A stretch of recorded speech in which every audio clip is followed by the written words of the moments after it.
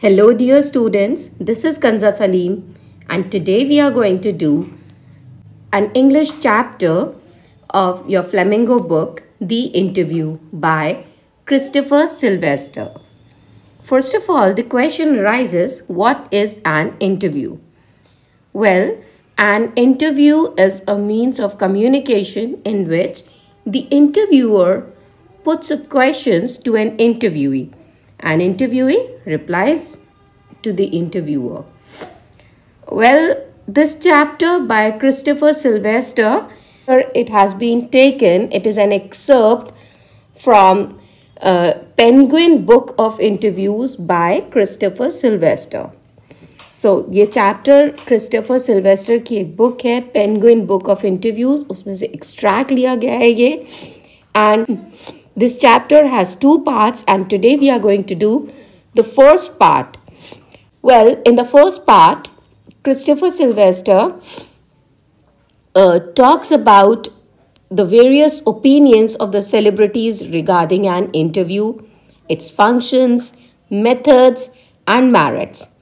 And the second part consists of an excerpt from an interview with the famous writer Umberto so today we are going to uh, do the first part. Let's dive deep into the chapter. Since its invention a little over 130 years ago, the interview has become a commonplace of journalism. So, uh, interview is not uh, of these days. It has uh, deep roots in past. Ye, it has been in practice over 130 years. So, and nowadays एक बहुत ही ordinary और common चीज़ बन गई है very unusual सी uh, चीज़ बन गई है for journalism. Today, almost everybody who is literate will have read an interview at some point to their in their lives. While from the other point of view, several thousand celebrities have been interviewed over the years some of them repeatedly. So, we all must have seen or watched an interview on the television screens, uh, right? Our, or we must have read several interviews. और बहुत सारी celebrities को हम देखते हैं कि उनका interview लिया जाता है they are being interviewed and we really admire them हमें लगता है कि वाह दे आर बीइंग इंटरव्यूड काश कोई हमारा भी ऐसे ही इंटरव्यू ले right but here today we are going to see that what are their views? What is interview according to them? unki kya thinking hai hamare according to it is just wow. Like they are uh, they are becoming famous. People are coming journalists are coming to them and they are being interviewed. They are becoming famous right? But what are their views? What is their thinking for the interview? Do they really enjoy it? So let's see. So it is hardly surprising that opinions of the interview of its functions, methods and merits vary considerably. So बहुत hardly surprising है hardly surprising means ये कोई बहुत ज़्यादा surprising बात नहीं है कि ओपी इंटरव्यू के लिए जो ओपिनियंस है लोगों के ऑफ़ इट्स फ़ंक्शंस उसके मेथड्स उसके मेरिट्स ये वैरी करते हैं कंसिडरेबली मतलब लोगों के अलग अलग ओपिनियंस हैं इसके बारे में, लोगों की अपनी अलग अलग थिंकिंग है some might make quite extravagant claims लोग बहुत बड़े बड़े क्लेम्स कर जाते हैं for it as being in its highest form a source of truth लोग people believe that it is a highest form और it's a source of truth कि हमें इसके थ्रू ट्रुथ मिलता है लोगों से। People just speak out their hearts लोग अपने दिल में जो होता है, जो सच होता है they just speak out the truth through in an interview and in its practice and art कि जो इंटरव्यू है, लोगों का इंटरव्यू लेना इट इज़ एन आर्ट या फिर एक इंटरव्यू के लिए बैठना being an like being an interview interview देना it's an art So people have their own claims, people have their own extravagant or excessive, they just elaborate it. Hana. Others usually celebrities who see themselves as its victims. So essay like just now we discussed that um, uh, celebrities we also would like to be uh, we also uh, would like to be interviewed but here we see that others usually celebrities who see themselves as its victims. ये जो celebrities होती हैं, इन्हें लगता है कि ये इसकी एक victim हो गई हैं।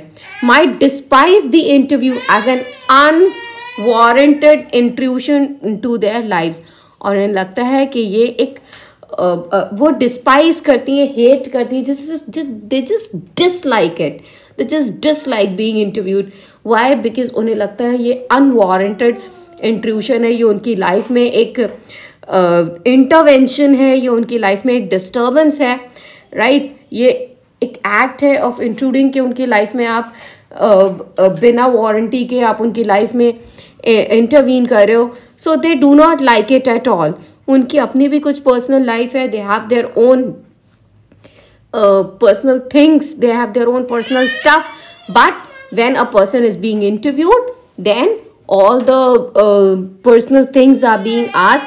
so they feel that if somehow uh, that it somehow diminishes them just as in some primitive cultures it is believed that if someone uh, if one takes a photographic portrait of somebody then one is stealing that person's soul जैसे कि it was believed in ancient times in ancient cultures in olden cultures that ये believe था कि अगर कोई किसी का photographic portrait लेता है अगर कोई किसी का पिक्चर क्लिक करता है तो उसने उस पर्सन का सोल स्टील कर लिया है। So somewhere it was it is correct right जब आप किसी का फ़ोटो क्लिक कर रहे हो जब आप देन uh, आप उसकी पूरी इनसाइट आउट कर रहे हो right then we see according to V S Naipaul V S Naipaul क्या फील करते हैं? उन्हें उनके अकॉर्डिंग क्या है interview feels that some people are wounded by interviews and lose a part of themselves उनको लगता है दैट ही फील्स दैट कुछ लोग जो हैं वो इंटरव्यू के through they are wounded right and interviews जो हैं वो किस लोगों का एक पार्ट लूज कर देते हैं means they just some parts are being taken away or loosened. Uh, है Lewis Carroll the creator of Alice in Wonderland Lewis Carroll जो क्रिएटर है एलिस इन वंडरलैंड के was set to have had a just a horror of the interviewer तो ये ऐसा कहा जाता है कि uh, लुइस कैरल को इंटरव्यूअर का हॉरर था and he never consented to be interviewed और उन्होंने कभी भी इंटरव्यू uh, देने के लिए, उन्होंने कभी भी कंसेंट नहीं दिया, कभी भी वो राज़ी नहीं हुए। It was his horror of being और उन्हें हॉरर किस चीज़ का था? Of being lionized which made him thus repel would be acquaintances interviewers, and the persistent petitioners for his autograph, and he would, for his autographs. So, उन्हें horror किस चीज़ का था?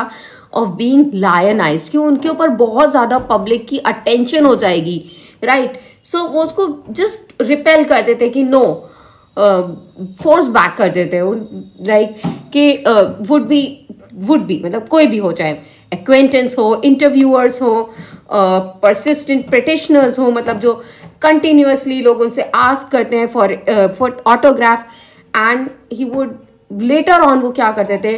He would he would afterwards relate the stories of his success in silencing all such people मतलब उस time पे they he never consented for an interview but later on he would give their answers in an enjoyable manner, in an amusement manner, in an entertaining manner. Okay. So he used to tell everything of his success. Uh, he used to relate his success stories, but not through interviews. Now, let's see what Rudyard Kipling expressed. An even more condemnatory attitude. He had even more condemnatory.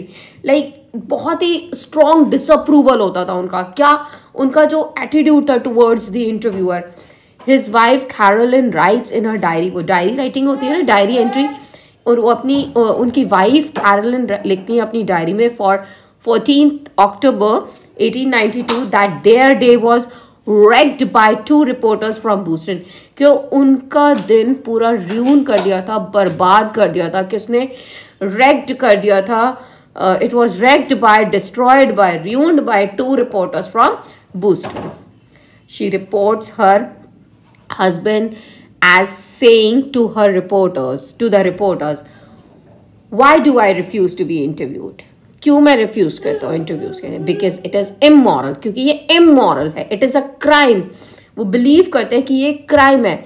Just as much of a crime as an offence against my person as an assault उनको लगता है कि ये एक physical attack है. वो believe करते हैं कि किसी का इंटरव्यू लेना उसके ऊपर एक फ़िज़िकल असोल्ट है. आई I मीन mean, एक फ़िज़िकल अटैक है. एक असोल्ट है. And just as much merits punishment और इसकी कड़ी से कड़ी सज़ा देनी चाहिए। It is cowardly and vile और बहुत ही, बहुत ज़्यादा it is extremely unpleasant it is not at all a pleasant act no respectable man would ask it कोई भी एक अगर रिस्पेक्ट कोई भी अगर एक रिस्पेक्टेबल मैन है वो नहीं आस्क करेगा कि मैं आपका इंटरव्यू ले लूँ, या वो ये नहीं कहेगा, इस चीज़ को पे कंसर्न नहीं करेगा कि ठीक है, आओ आप मेरा इंटरव्यू ले लो। मच लेस गिव इट और ना ही वो देगा। Yet Kipling hit had himself perpetrated such an assault उन्होंने खुद करा है। वॉट असॉल्ट मतलब उन्होंने खुद एक इंटरव्यू लिया है ऑन मार्क ट्वेन वो खुद कह रहे हैं कि मैंने एक असॉल्ट मैंने एक फ़िज़िकल अटैक करा है। ऑन मार्क ट्वेन पे. मीन्स मैंने उनका इंटरव्यू लिया है. मार्क ट्वेन का. Only a few years before right let's see what H G Wells in an interview in 1894 referred to हालाँकि वो बहुत सारे इंटरव्यूज़ में बैठते थे. मीन्स वो इंटरव्यू ही होते थे फ्रीक्वेंट इंटरव्यू ही थे. इंटरव्यू के लिए रेडी हो जाते थे. बट एक इंटरव्यू में उन्होंने खुद कहा, तब भी Uh, H.G. Wells, in an interview in 1894, referred to the interviewing ordeal. एक इंटरव्यूइंग ऑर्डियल में एक बहुत ही अनप्लेजेंट सा उनका एक्सपीरियंस था उन्होंने उसमें बताया but was a fairly frequent interviewee and 40 years later found himself interviewing Joseph Stalin. Saul Bellow. Now what Saul Bellow says, who has consented to be interviewed on several occasions. अच्छा um, इनका भी बहुत ज़्यादा interview लिया गया है Saul बेलो Saul Bellow का। Nevertheless once described interviews as being like thumbprints on his thumbprints on once on his windpipe. So so, दो इन्होंने बहुत बार कंसेंट करा कि ठीक है इंटरव्यू ले लो इंटरव्यू ही बने हैं ये। बट इनको क्या लगता है? कि इंटरव्यू जो है it is like thumbprints on windpipe means as if someone is choking कोई आपका गला दबा रहा है yet despite the drawbacks of the interview here we see के though there are so many drawbacks of the interview it is a supremely serviceable medium of communication. So, हालाँकि इसके बहुत सारे ड्रॉबैक्स हैं बट हम ये चीज़ नहीं निग्लेक्ट कर सकते कि that it is a supremely serviceable these days more than at any other time our most vivid impression of our contemporaries are through interviews so अगर आज के टाइम की हम बात करें तो दीज डेज़ ज़्यादा से ज़्यादा हमें इंफॉर्मेशन कहाँ से मिल रही है? From where are we getting all the stuff through interviews only one person is asking questions and the other is giving replies so this is the medium. Dennis brain has written dennis uh, uh, asking questions of another sorry almost everything of moment reaches us through one man asking questions of another. Because of this the interviewer holds or wajah se because of this the interviewer one who asks the question holds a position of unprecedented power and influence.